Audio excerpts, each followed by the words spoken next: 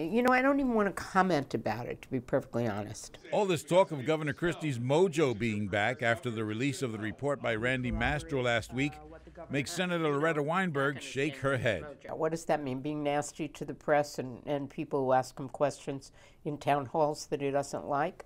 Some people might describe that as mojo. I'd say, yeah, the governor's back to uh, some of the original uh, uh, personality that might have gotten him into this trouble to begin with.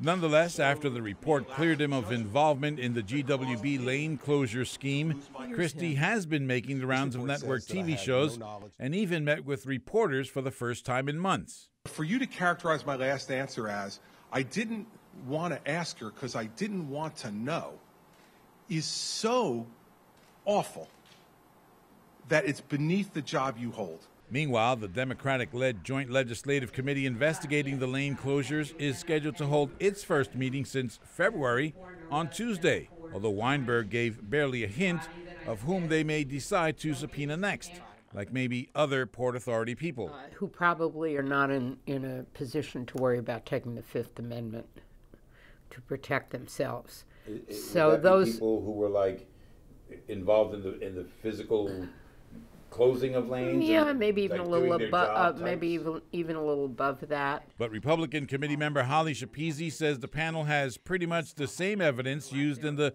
Christie ordered Mastro report.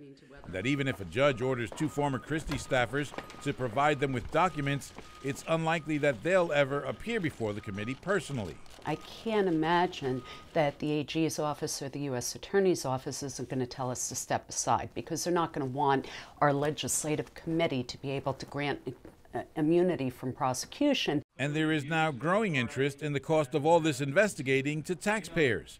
Published reports say the Mastro inquiry cost a million dollars and that the legislative committee has spent another quarter million, all taxpayer dollars.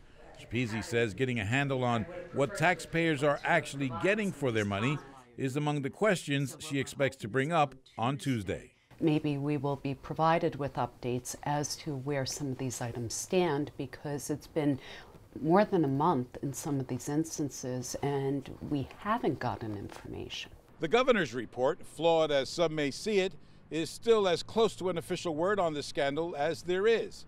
The onus is now on Democrats to come up with an alternative narrative using essentially the same information. In Bergen County, I'm David Cruz, NJTV News.